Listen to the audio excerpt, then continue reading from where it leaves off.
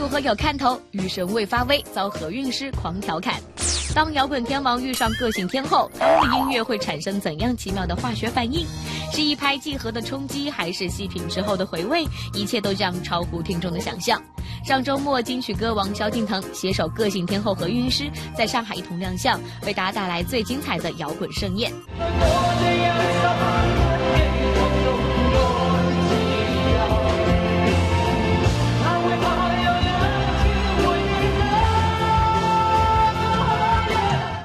在现场，何韵诗还忍不住调侃起了萧敬腾“雨神”的封号。你真的是每一次到哪里都下雨吗？基本上。有出过什么事吗？哦，最大的那一次就是，其实每一次都挺大的。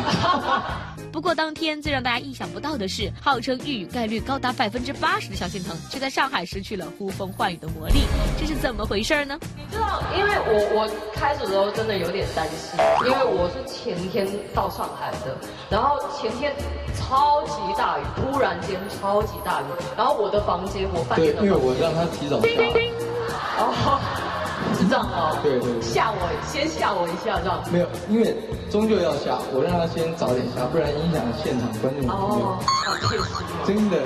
小兵点评：这场舌战似乎省话一哥占上风喽。